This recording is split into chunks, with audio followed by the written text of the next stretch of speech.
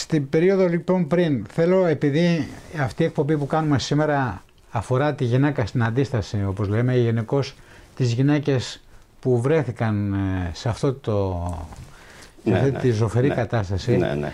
Ε, να μας πείτε για την Παναγιώτα Λουκά. Γιατί Και Παναγιώτα Λουκά. έχει, γρα- έχουν γραφτεί πάρα πολλά πράγματα. Τη, θεωρώ, τη, θεωρείτε, τη θεωρείτε εδώ ηρωίδα.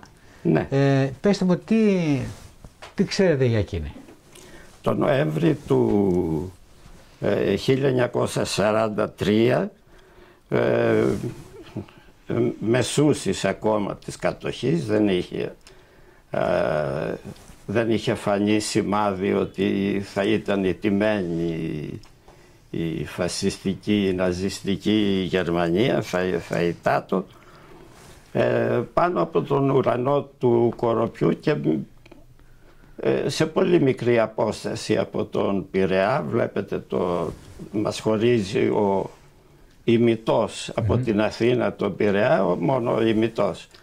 Ε, υπερίπταντο αεροπλάνα και γινόντουσαν ε, εγγλέζικα, αμερικάνικα ε, δεν είμαι σε θέση καλύτερα η επιτροπή αυτή ε, Ναι, εντάξει, δεν έχει σημασία.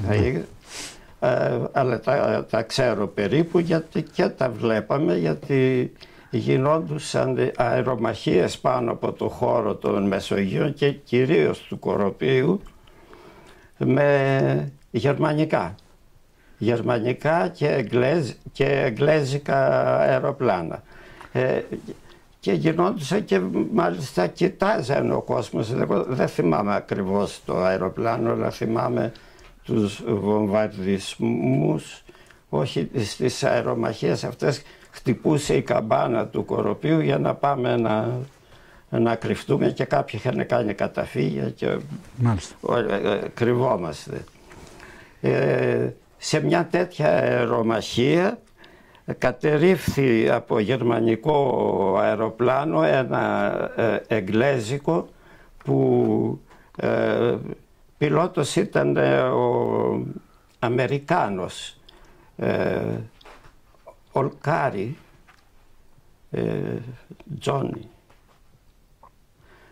Ολκάρι ε, ε, λεγόταν αυτός ε, κατερρίφθη το αεροπλάνο του αυτός έπεσε με αλεξίπτωτο Ναι, ναι. κάπου κοντά και η, η, η κυρία η, η Παναγιώτα. Θήτσα Παναγιώτα Θήτσα, Η Θήτσα. λέγαμε εμείς και ήταν και τιμητικός τίτλος το, το Θήτσα η, η Θήτσα Παναγιώτα ε, εργαζόταν σε αγροτική δουλειά, σε δικά της βέβαια, γιατί ήταν ε, μια μάλλον ε, η οικογένεια ήταν ε, μάλλον ασχοντική τώρα τροποσούλα αλλά η οικογένεια νοικοκυρέων ήταν και εργαζόταν εκεί και το, το πήρε ε, χαμπάρι που έπεσε το, το Αλεξίπτωτο πήγε και του, του προσέφερε βοήθεια φώνας, ε, τρέξαν και κάποιοι άλλοι δεν ήταν εντελώς μόνοι της εκεί. Και βοηθήσανε το, τον άνθρωπο ήταν ε, τραυματίας. Ε, κατά, κα- είχε πέσει με το Αλεξίπτωτο λίγο είχε χτυπήσει και αποφασίσανε να ε, ε, να τον ε, κρύψουν, να τον φυγαδέψουν, να τον φιλοξενήσουν και ε, ξέροντας βέβαια τι, τι ε, ε, συνέπειες Μπορούσε να έχει ε, ε, αυτό. μπορούσε να είχε ανα, ανακαλύπτετο η ενέργεια αυτή. Αυτή το, η Φίτσα Παναγιώτα τον έκρυψε στο υπόγειο του, του σπιτιού της που είναι πάνω στην ε, ε, Λεωφόρο Βασιλέως Κωνσταντίνου λίγα μέτρα πιο κάτω από το σπίτι μου είναι ένα βενζινάδικο και ήταν το σπίτι τους ε, Μάλιστα. το, ε, το σπίτι που, που κατοικούσε και εκεί τον έκρυψε. Ε, δεν αρκέστηκε εκεί, ε, ε, με αυτό ήρθε σε συνεννόηση με κάποιους ε, αντιστασιακούς, ενώ αυτή δεν ήταν σε καμιά ε, οργάνωση. δεν είναι- δεν ήταν σε Μια κάποια απλή οργάνωση. Γυναίκα δεν, δεν Ήταν απλά μια γυναίκα η οποία είδε μια, το, απλή, μια απλή γυναίκα. είδε το, Αλλά- την πτώση του Αλεξεπτώτου. και έξυπνη και ε, μια γυναίκα με καρδιά μεγάλη και αποφασισμένη να, Μάλιστα. Άρα δεν υπήρχε Δεν ήταν σε κάποια αντιστασιακή Ε, οργάνωση. όχι, όχι, δεν ήταν ε, έργο αντιστασίου, μια απλής Οι Γερμανοί νοικοκυρά. τη συνέλαβαν ποτέ οι Γερμανοί την. ε, Και βέβαια, Α, ναι. και τη- την συνέλαβα γιατί κάποιος ε, που λέγαμε προηγουμένως Την ότι κάρφωσε.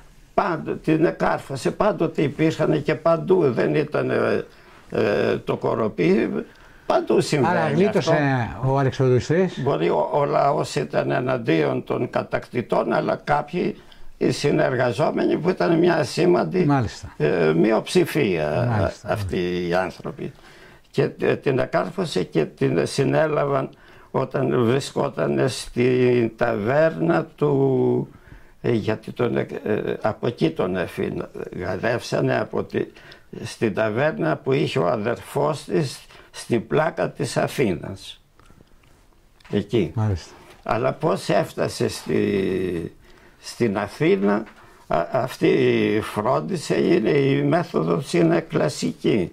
Για μία σούστα φορτωμένη με άχυρα Και από κάτω. και μέσα αυτός που θέλει να φυγα, θέλουν να τον Ναι, ναι. φυγαδεύσουν Είναι από κάτω. να, να υπάρχει κάτω από τα, Άρα ο πιλότος ε, φυγαδεύτηκε; τα άχυρα. Φυγαδεύτηκε; Όχι, τον επήγανε στη, στην Αθήνα. Από εκεί τον επήρανε η αντιστασία εκεί ναι, και τον ε, επ- θέλω να πω σώθηκε. σώθηκε. σώθηκε. Σω- Ε, ε, ε, εκεί.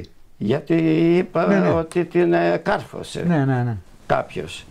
Ε, συνελήφθη ε, το Νοέμβρη του 1943 και έμεινε φυλακισμένη πέντε μήνες μέχρι 30 Μαρτίου 1944 στις φυλακές Αβέροφ. Αλλά χωρίς δίκη και χωρίς να ξέρει τι επρόκειτο. Της λέγανε ότι θα, θα την ε, εκτελούσαν αν δεν μιλούσε. Έπρεπε να μιλήσει, αλλά αυτή δεν μίλησε ποτέ. Ήσαν και συγγενείς τα άτομα και, και πολλοί γνωστοί που συνεργάστηκαν με την Παναγιώτα και τον ε, φυγάδευσαν. Έτσι ε, η Παναγιώτα Λουκά, Λουκά. σε- ε, μετά της σύλληψή της, της κάνανε ε, βασανιστήρια και φάλαγγα και αυτά και δεν ήξερε αν θα, πότε θα γίνει η εκτέλεση. Περίμενε ότι θα γινόταν η εκτέλεση. Δεν εκτελέστηκε όμως και εδώ μπορούμε να γελάσουμε τι συνέβη.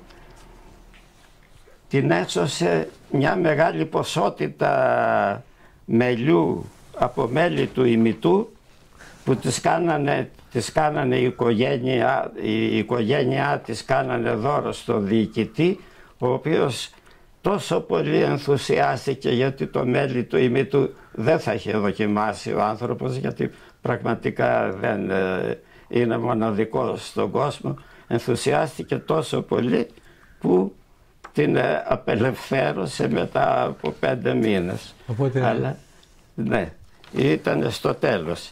Η, η Φίτσα Παναγιώτα είχε παιδιά, ο- όλα αγόρια είχε ε, το Σπύρο, που- ο οποίος ζει, ο Μιχάλης ο οποίος έχει πεθάνει και ο Αντώνης ήταν ε, συμμαθητής που πριν λίγα χρόνια, δύο-τρία χρόνια έχει που, που πέθανε και αυτός μου έδωσε πάρα πολλές Αυτά τα πληρο- έχετε πληροφορίες. γράψει στο βιβλίο σας προφανώς. Ε. και Όλα είναι αυτά και στο ναι, ναι. βιβλίο και τη φωτογραφία Το βιβλίο ποιο είναι είπαμε; και Να το οι δείξουμε. Γερμανοί ξανά ξανάρχονται Ωραία. Ωραία.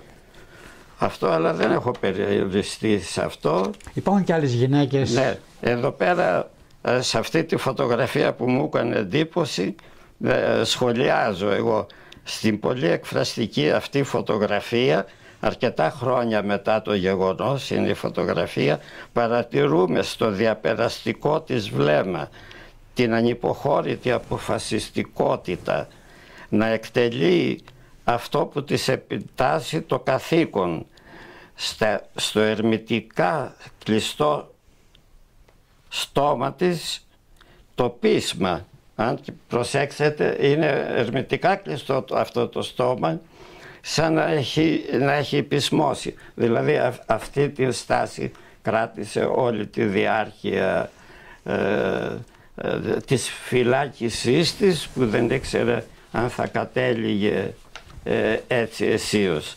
Ναι. Και ε, ε, εδώ την βλέπουμε και με μια μεγαλοπρέπεια με το μαντίλι το μεταξωτό όπως φαίνεται περίτεχνα δεμένο γιατί ήταν, αισθανόταν σαν αρχόντισσα η γυναίκα αυτή.